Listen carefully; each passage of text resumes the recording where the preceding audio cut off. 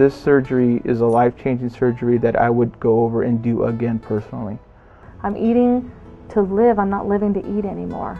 I've come to the conclusion that that Dr. Korman and Bridget and Helen and uh, those folks are probably the best at what they're doing. I'm very happy with what I did. And am I living my life now? Yeah, I'm living it very well.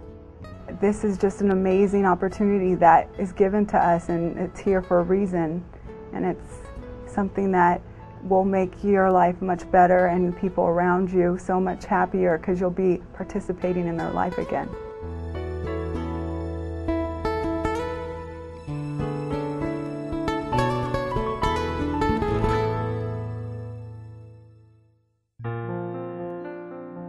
My brother chose to have the surgery, and I thought I would research it. And I went to some conventions, and I noticed on the board sitting at the convention, they started talking about comorbidity diseases. And as this, as it was scrolling down, I identified a lot of it with my brother. But then I started seeing myself in a lot of it, and I think that's where the reality hit me. I was getting tired of being fat. I was just huge and getting tired of that. And uh, so my friends were becoming concerned about my weight and my health. I had gone through many diets through all my life and gone on and on and on. Lost 20 pounds, put on 20 pounds, and this this has been a long, long time in, in my life. I've been doing this. I knew I wanted to always have a family, and I knew I couldn't even think about trying to conceive having a child, being pregnant, being so heavy. So um, I wanted to do it so I would be able to have a long life with my children that I hopefully will have in the future and with my husband. Last year we went camping with the kids and um, the kids and some friends of ours went hiking and I got to experience that hiking trip through via pictures because I wasn't able to go the kids went hiking, took a digital camera, came back, and I got to sell the pictures of what they saw. And I missed that experience with them and my wife. I had gout and I had high cholesterol, depression, a lot of things that I didn't know at the time were comorbidity. It just became a way of life. I had really severe, extremely severe sleep apnea. Uh, I had high blood pressure, joint pain. I was taking so much medication that uh, I looked like a walking pharmacy. I spent most of my time alone. If I wasn't at work, I was basically by myself because uh, I didn't feel comfortable uh, imposing my girth on other people in social situations. There was a lot of time where my husband did things with my girls and I stood on the side and watched. And I really didn't think at the time that I wasn't participating because I was, I was there, but I realized like even going to amusement parks, I never went on rides because I didn't fit on rides. I had other consultations other places, but even just with the initial phone conversations that I had, um, didn't get that warm fuzzy feeling and felt like it was just going to be like a cattle call. And when I met Dr. Korman, I almost didn't even have to search anywhere else. That he made me feel very comfortable. He listened to all my questions. He answered all my questions.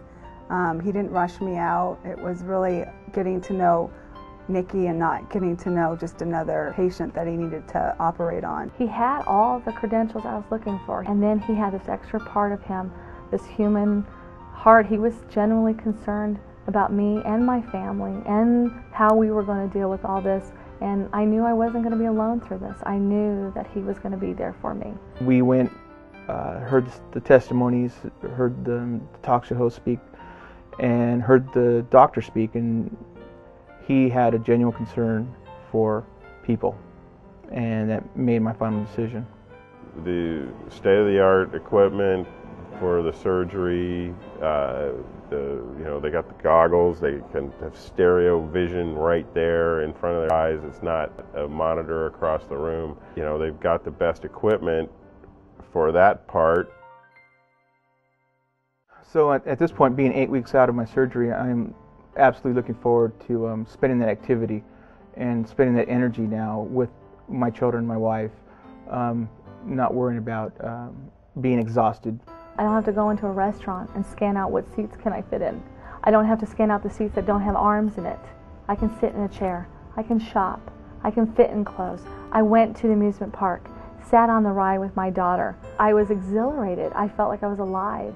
I'm a part of life and I'm not the spectator anymore. Any physical activity I can do a lot longer, faster, harder, whatever you want. How you know if it's cardio on a machine, I couldn't even do that. I was when I decided to have the surgery, I was 400 pounds. I could barely walk to the car. Now, I, when I do cardio, I do a half hour of cardio and a half hour of weight training uh, a day, uh, four or five days a week.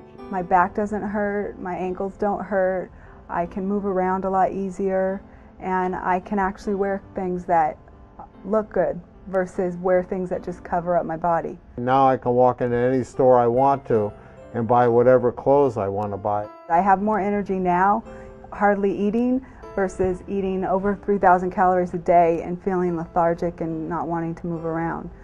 It's a great feeling. It's an unbelievable feeling.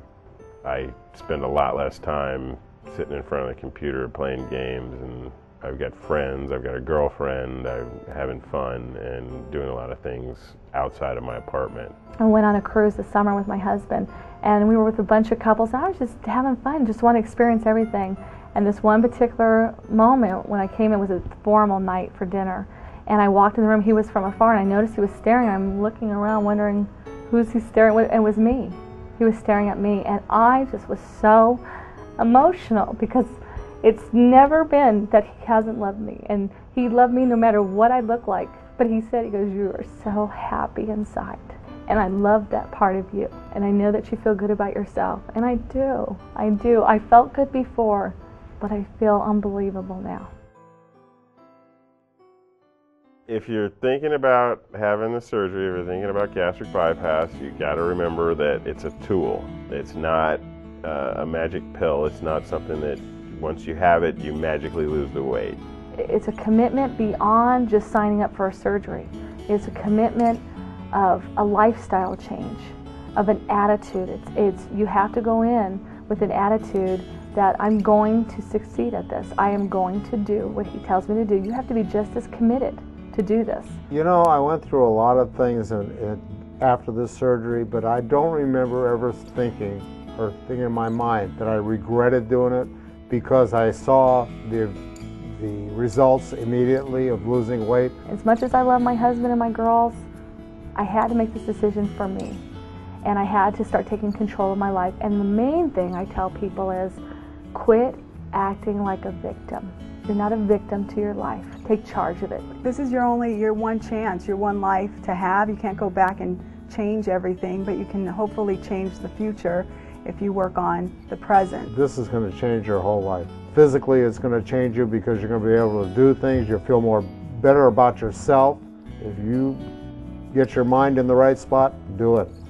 You have to get your mind in the right spot first. I don't think there's anybody out there that that can experience a life-changing experience like this and not recommend it. I'm very happy that I had the surgery and I, I I'm just so excited that it was possible and I'm doing well and I can't imagine being even happier. There's so much more attached to this and you don't realize it going in because you think it's all about the food but then after you are in it you realize it has nothing to do with the food and it has everything to do with yourself and you really you're challenging yourself in areas that you may never have done before. I was so pleasantly surprised with uh, Dr. Korman and Bridget, and I got to tell you, the hospital itself was wonderful. The staff that uh, that they have in the bariatric wards, they are the most caring people that I've ever seen in a hospital. Everybody is very supportive, and everybody is, uh, you know, they cheer your successes and they encourage you when you fall back a little bit, and they're always positive. They can identify that it's it's painful to be an obese person and it's painful to go through this process um, but it's not unbearable. And i just i could not imagine going through without the support that i had. It, what they provide is priceless to me. It is priceless and it has made the journey that much more um, fulfilling to me